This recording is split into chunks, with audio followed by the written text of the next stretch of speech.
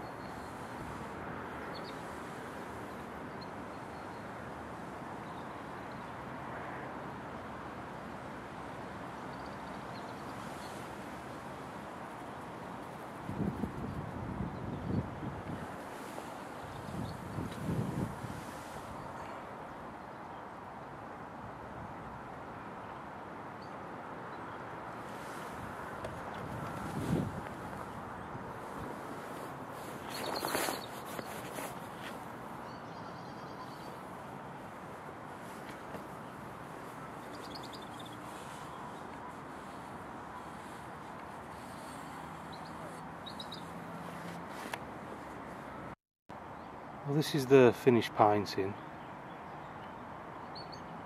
If I just step back a bit, you can see the, uh, the, the view I was working with.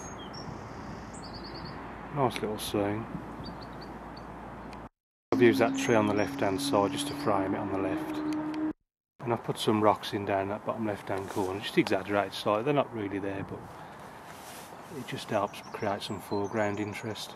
There's not a, much in the way of reflections over there by adding them into the painting it just makes the, the water a lot more realistic